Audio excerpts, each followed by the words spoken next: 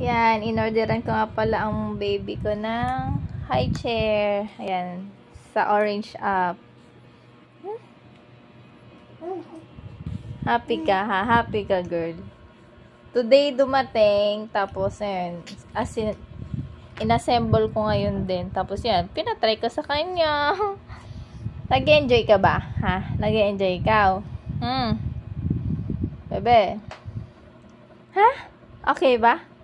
Happy? Are you happy? Thank you, Daddy. Na? Thank you, Daddy.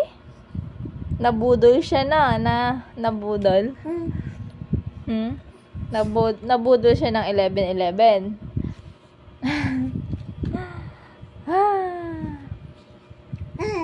Oo, mm, oo nga, di ba? Nabudol mo si daddy.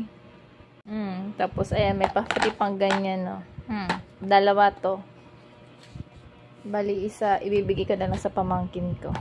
Di ba? So cute. Hmm. Ayan. Nga, pati ito. Beam niya.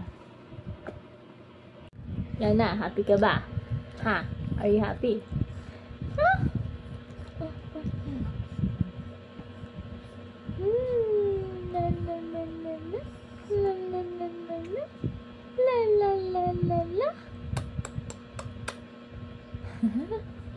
Sarap ba yan? Ha? Masarap?